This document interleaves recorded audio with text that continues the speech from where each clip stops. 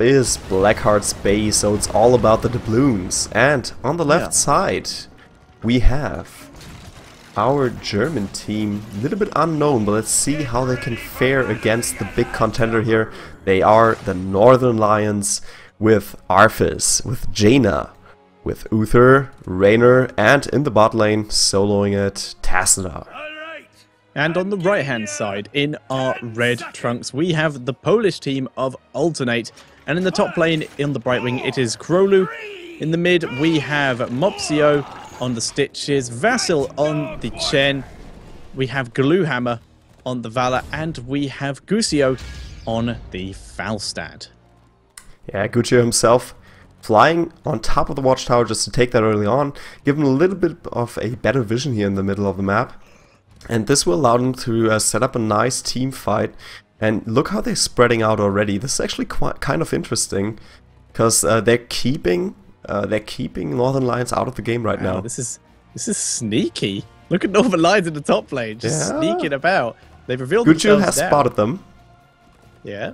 I, uh, I they- like that this top lane strategy is a strategy that a lot of teams used to lose, used to use, but sort of went away from.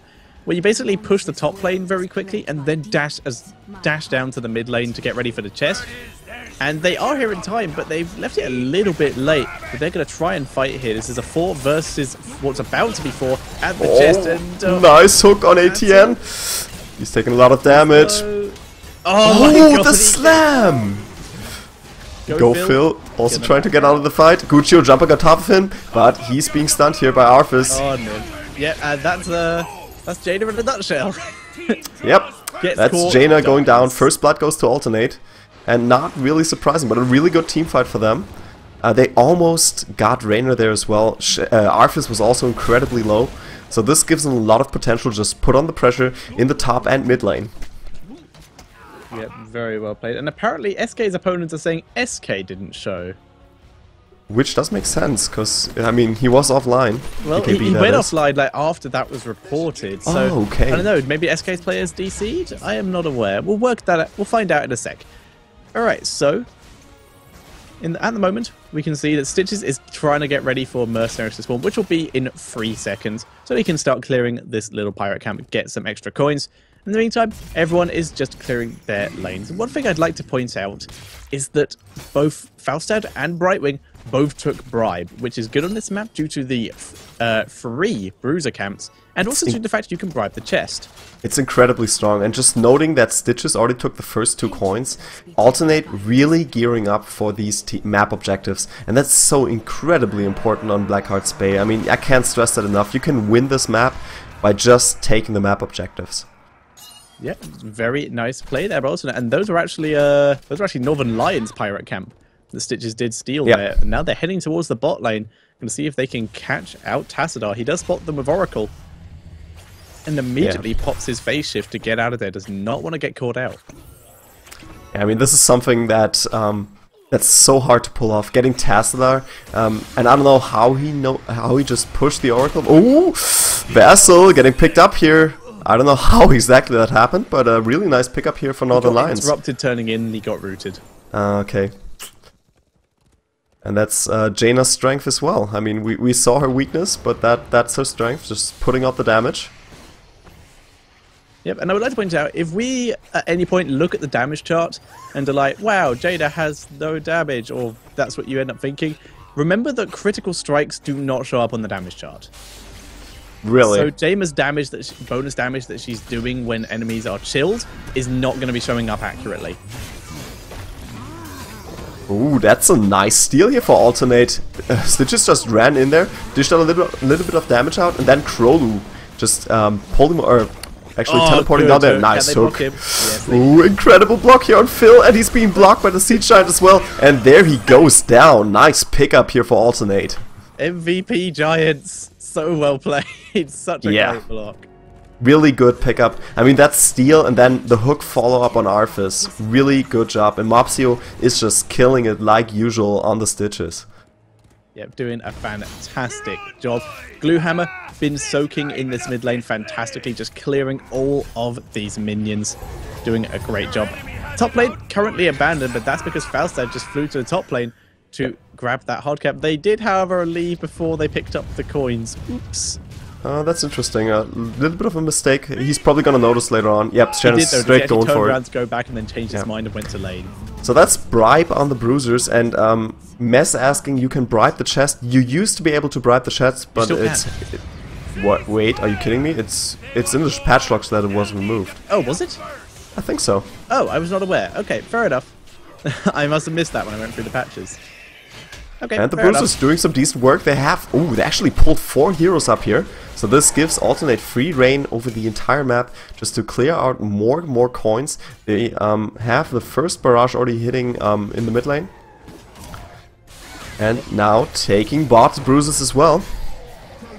Yep, and they're actually trying to do this as much as possible. Rather than using the push up in top lane to turn in what coins they have, they're trying to get as much pushing going down as possible due to the fact that if you can kill the wall, or maybe a the wall and a tower, when you uh, when you're pushing a lane, that means that the pirate, the uh, cannons will actually destroy the fort. Yeah, so you want to get as much damage in early on. And I love the timing here on the Bruiser taking in the bot lane.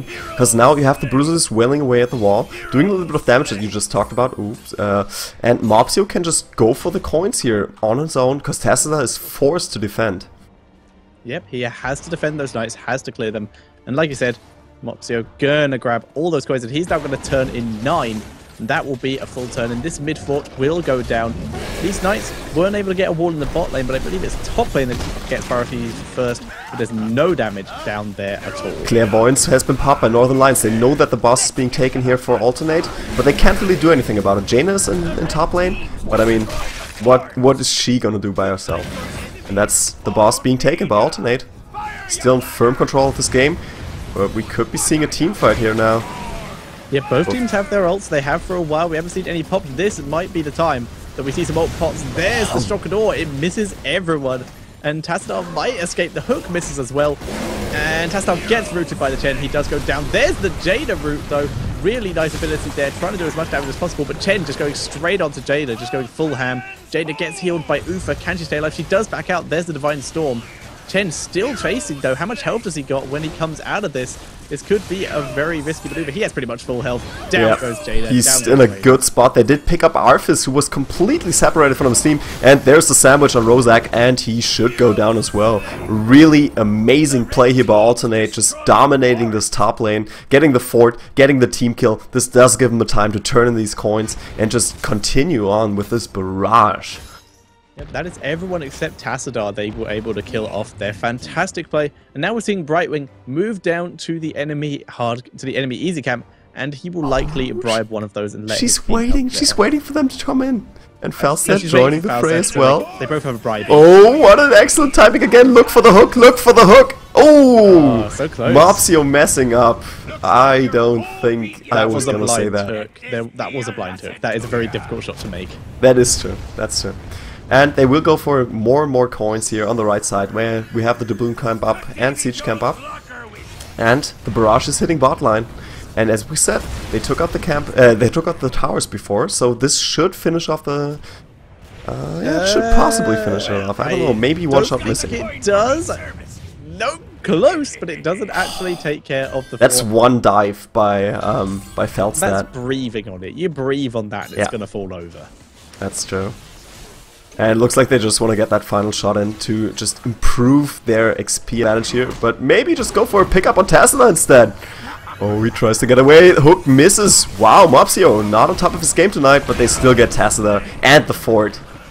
Yep, Gitester and the fort very, very well played. We're currently seeing Northern Lions attempting to sort of deal with everything on the map. Their top lane has now been cleared. They're actually pushing with that. Mid lane's a bit pushed up, but there's not really much they can do about that because they have to now defend bot lane due to Alternate doing a huge push. And there's another hard camp here to help them with this. Yeah, the Siege Giant's in the back doing good, good work. Oh, Falstad almost getting Raynor there in the back.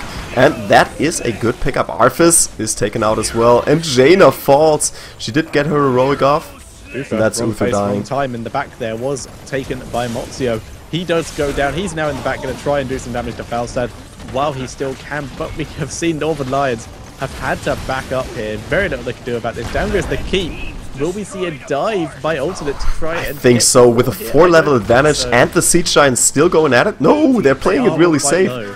They don't have anything to tank. The minion wave was not there yet. So they're going Yeah. to take this bottom hard camp and will likely heal up in the meantime. There's the bribes. And, And they have lots of coins so to turn in as well. So they could go for the next barrage. We have only two keeps remaining here on Northern Lions side. So uh, the next barrage is just going to do that much more damage.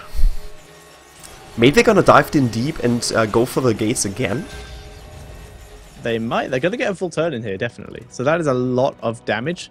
Golem's up in one minute. Looks like they're just playing it safe. They're going to get their own hard camp and just get everything pushing before they go for another push themselves. Yep. They will have to stop the bruises in top lane now. But, I mean, they have bruises of their own. And I think, let's check on Brightwing and Falstad. No, no bribe up yet. But there was a bribe coming How do you check? Um, you press V, select the player, press V, and you go into their perspective. But, um, That does not work for me. Oh, oh, you gotta set it up in the hotkeys. I'll tell Ah, you later okay. on. Okay, so she does have a bribe, one bribe up, but Gucci doesn't yet. Okay, I just go by the I just go by the sound effects usually. That's cool. But yeah, they used them on the bottom hard camp, so they did not have them up yet. But now we're going to see alternate beginning to push stitches once again. Go for the hook, completely blind, wasn't able to find anyone. Nymph backing up, doesn't want to get caught out here. There's a lot of damage potential in this Northern Lions team, but alternate just outplaying them Yeah. very heavily. Two levels ahead, or two and a half levels ahead. And we have that level 16 talents. There's the combination attack on Chen, making him really, really strong now. Uh, the 200% bonus damage on his flying kick, so that's uh, that's basically making him kind of like an assassin. Then we have a crit rise on Brightwing, Blood for Blood on Valla for the extra slow and health, and Pulverize on Stitches, so the slam build, uh, just finishing that up, and Overdrive going taken. for fishing hook. That's a really interesting fee here by uh, Mopsio. Yeah, I mean, he maybe he noticed that he missed a couple of hooks, and well, they do want one more.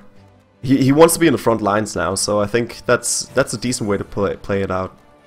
Yeah, he's going for he's going for a more damage style rather than the uh, hail mary hooks, and it seems to be working for him. Actually gets a bit of a mini stun there. It is quite nice to see. The mini stun's going to be so nice at interrupting this team. Yeah, looks like they want to get that next engage off, and notice that Vassal has a lot of coins, so they want to get these towers. Ooh, there's Falstad with an amazing shock and awe. Jaina is solo. There comes the final kick by Chen, taking her out.